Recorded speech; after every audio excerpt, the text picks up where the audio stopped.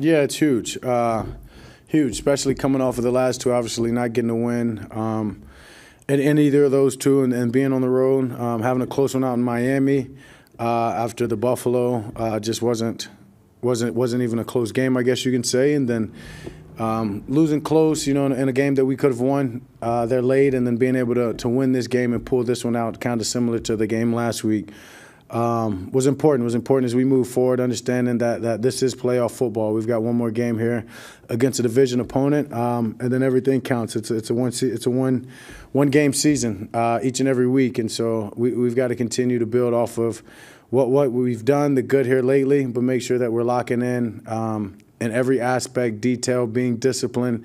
Um, not hurting ourselves and, and, finding a way to play our best ball uh, right now and, and create that momentum.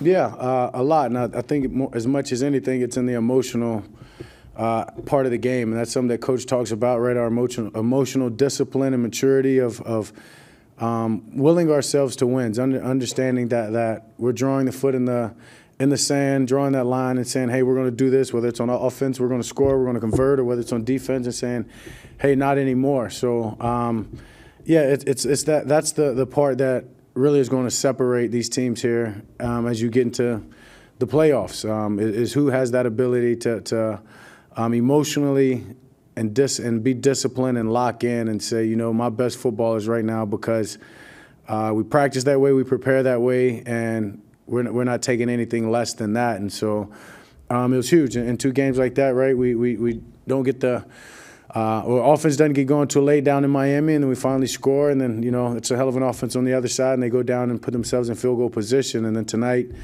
um, they decide to go for two, and the defense stands up. So kind of kind of drawing that line. Um, proud of those guys. This is a complete team win, and uh, we did it together, and that, that's that's what's important as we move forward. Understanding that everything we do has to be together, has to be the utmost complementary football. Each side special teams, defense, offense, we all have to have each other's back, pick up when, one when one's not doing well, and essentially uh, nobody should should be doing bad. We, we, it's it's time for our best.